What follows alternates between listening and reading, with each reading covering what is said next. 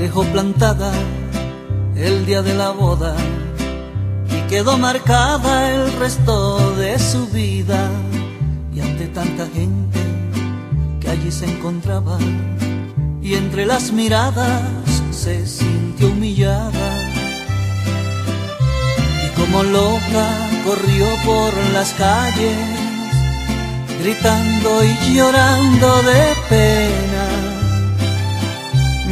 que en otro lado del pueblo se casaba con otra el canalla.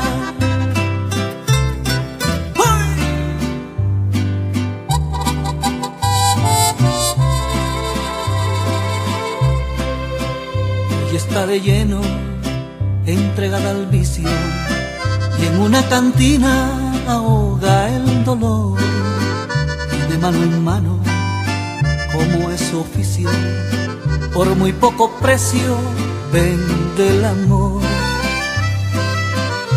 Y así vive con sus frustraciones, frustraciones que dan las traiciones.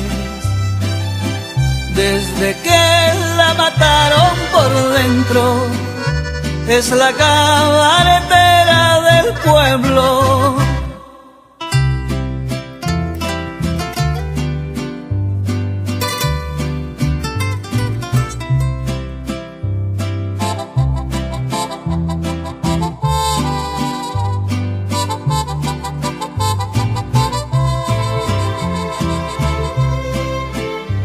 día de fiesta y él había llegado. Con unos amigos se fue de parranda y casi borracho allí en la cantina.